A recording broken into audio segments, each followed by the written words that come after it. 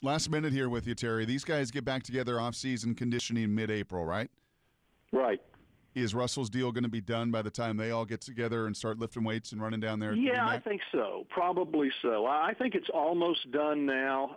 And I, from what I've been told, they're really close. They're, they're just trying to make sure every single thing is in place before they they go forward with this. And uh, it's going to be. I think it's going to be bigger and crazier and different from what any contract has ever been. So where are they right now with regards to a long-term contract?